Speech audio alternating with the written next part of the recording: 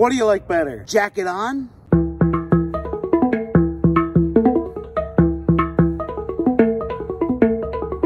Or jacket off?